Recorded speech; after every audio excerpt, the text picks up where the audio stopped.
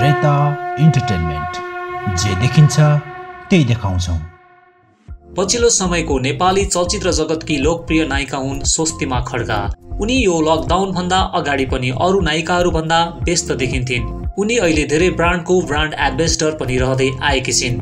उनी अहिले यो स्थानमा हुनुमा उनको पछाडि थुप्रै काम गर्नेहरूको हात रहेको छ जस्तो कि उनी कुनै फिल्ममा काम गर्दा उनको पछाडि थुप्रै काम गर्ने मानिसहरू हुन्छन् जस्तै makeup artist lightman technician spot boy आदि।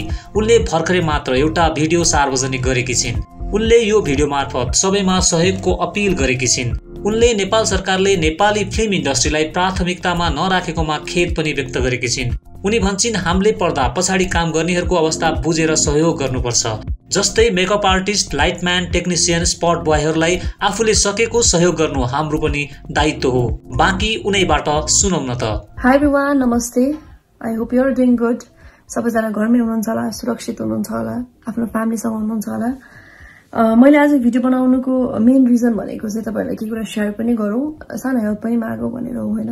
हामी सबैजनालाई थाहा नै छ we are are going through this rough time र यो बिचमा पनि फिल्म इन्डस्ट्री चाहिँ it's the least prioritise industry कसैको साइडबाट हेर्दाखेरि पनि खासै प्रायोरिटीमा परिरहेको छ इन्क्लुडिङ गभर्मेन्टको साइडबाट पनि।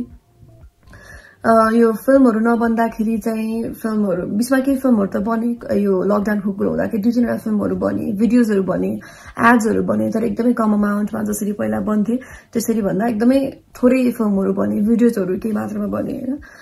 र यो फिल्म नबनिराख्दाखेरि चाहिँ को कोलाई ह्याम्पर हुन्छ त भन्ने कुरा आउँछ। हामी चाहिँ नर्मली फिल्म इन्डस्ट्री हेर्दाखेरि या फिल्म लाइन मिडिया लाइन भन्ने बित्तिकै it's just about actor actresses producers and directors भनेर सोध्छौँ। तर एउटा फिल्म बन्नको लागि फिल्म इन्डस्ट्री धान्नको लागि चाहिँ अरू टन्नै मान्छेहरू पनि इन्भल्भ हुनुहुन्छ। टन्नै मान्छेहरूको पनि इन्भल्भमेन्ट त्यत्तिकै रहन जान्छ।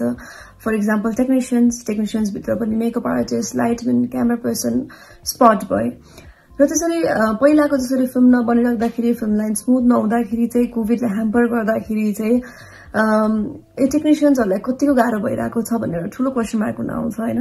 अस्ति भर्खरै मैले इकान्तिको दुई तिन दिन अगाडिको मात्रै कुरा हो। इकान्तिपुरमा एउटा न्युज हेर्दाखेरि चाहिँ टेक्निसियन्सहरूको इन्टरभ्यू जस्तो थियो उहाँहरूको इन्टरभ्यू हेर्दाखेरि चाहिँ हामी लगभग एक वर्ष भइसक्यो भाडा नतिरेको।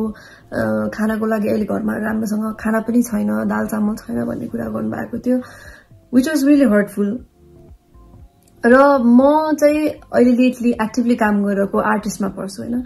सो मेरो रेस्पोन्सिबिलिटी चाहिँ के हुन जान्छ त उहाँहरू जो जसलाई गाह्रो भइरहेको छ त अहिले उहाँहरूलाई मैले कुन साइडबाट साइडबाट हेल्प गर्न सक्छु त भन्ने कुरामा अस्ति मेरो एकजना यो टेक्निसियन्सहरूको पनि एसोसिएसन हुन्छ एसोसिएसनको अध्यक्षसँग उहाँसँग कुरा गर्दाखेरि चाहिँ मैले उहाँसँग फोनमा कुरा गर्दाखेरि उहाँले दाइ कतिजना हुनुहुन्छ त टेक्निसियन्सहरू भन्दाखेरि उहाँले लगभग तिन सयजना हुनुहुन्छ भन्नुभयो भन्नुभयो होइन तर तिन सयजनामा तिन सयजनालाई गाह्रो नभएको हुनसक्छ किनकि कोही क्यामेरा पर्सनहरू हुनुहुन्छ जसले लमसममा रेन्युमरेसन लिनुहुन्छ उहाँहरूको सेभिङ हुनसक्छ लिभिङ राम्रो हुनसक्छ सो अहिलेको टाइममा त्यति गाह्रो नहुनसक्छ उहाँले चाहिँ लगभग सयजना जतिलाई चाहिँ गा तिन सयजना हुनुहुन्छ टेक्निसियन्सहरू तर लगभग सयजनालाई चाहिँ अलिकति गाह्रो भइरहेको हुनसक्छ अहिले लिभिङको लागि भनेर भन्नुभयो। लास्ट टाइम हामीले लास्ट इयर पनि हामी लगभग सयजनालाई हेल्प गरेको थियो। दिपक दाई दिपा दिदीहरूको टिममा मैले पनि अलिकति सक्ने सहयोग गरेर त्यति बेला पनि लगभग हामीले सयजना जतिलाई हेल्प गरेको थियौँ होइन।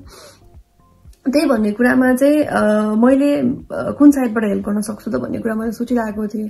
अनि बिचमा एक्चुली क्याजुअली मेरो एकजना दिदी हुनुहुन्छ रिना स्टेसन भन्ने उहाँ चाहिँ एलफ्ट होटलको थाई सेन्टरमा जुन चाहिँ एलफ्ट होटल उहाँको त्यहाँको मार्केटिङ हेड पनि हुनुहुन्छ। उहाँसँग क्याजुअली मैले कुरा गर्दाखेरि चाहिँ अब कसलाई गाह्रो भइरहेको छ सबैलाई त्यसै नै गाह्रो भइरहेको छ एकदम मारमा परिरहेको छ मान्छेहरू भन्ने कुरामा चाहिँ मैले अब हाम्रो फिल्म इन्डस्ट्री टेक्निसियन्सहरू पनि हुनुहुन्छ जो चाहिँ डेली वेजमा काम गर्नुहुन्छ उहाँलाई एकदमै गाह्रो भइरहेको छ भन्ने कुरामा उहाँले ए हामी मन्थली उहाँहरूले चाहिँ के गर्नु हुँदो रहेछ भने सर्टन बजेट एलोकेट गर्नु हुँदो रहेछ वृद्ध आश्रमको लागि बाल आश्रमको लागि।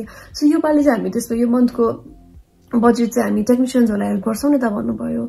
Which was really generous of them त्यसै गरी म ब्रान्ड्सहरूसँग एसोसिएटेड छु अहिले थुप्रै ब्रान्ड्सहरूसँग उहाँहरूसँग मैले अप्रोच गर्दाखेरि पनि मुकुन्डो डट कम हुन्छ जुन चाहिँ इ कमर्स साइट छ नयाँ होइन? उहाँलाई अप्रोच गर्दाखेरि मैले एकचोटि भन्ने बित्तिकै उहाँले हुन्छ वेयर रेडी टु हेल्प के गर्न सक्छ हामीले? भन्नुभयो। उहाँहरू चाहिँ फुड एसेन्सियल्सहरू अहिले डेलिभर गरिराख्नु भएको छ होइन?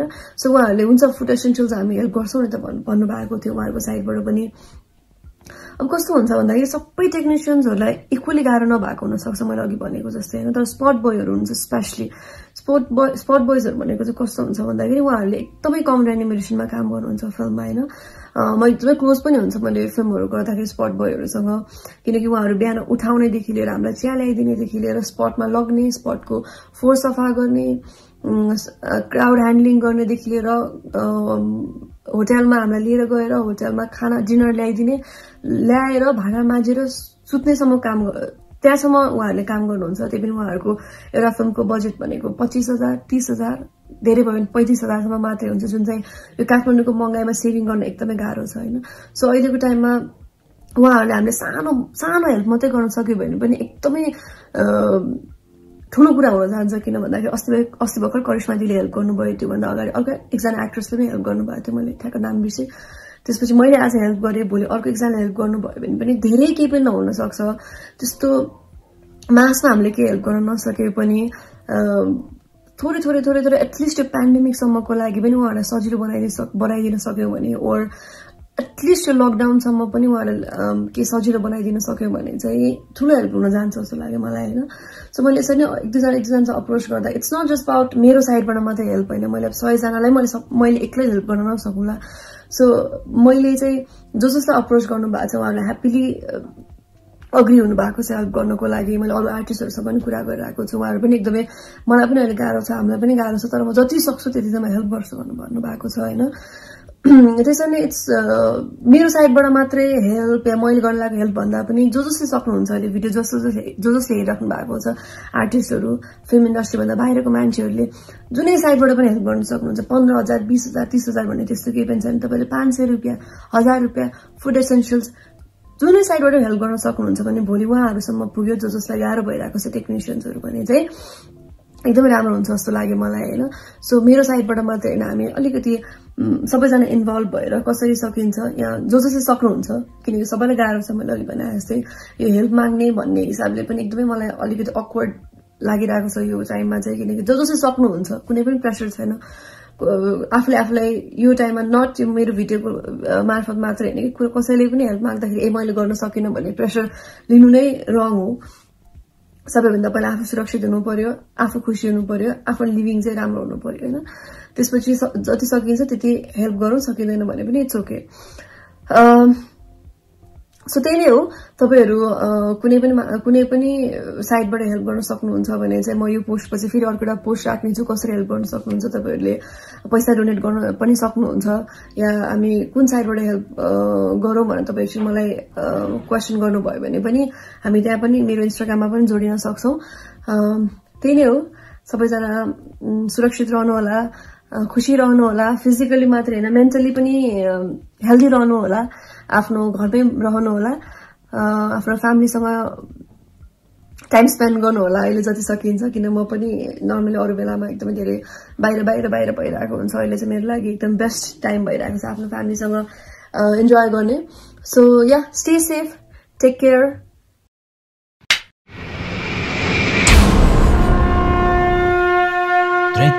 entertainment जे देखिन्छ त्यही देखाउँछौँ।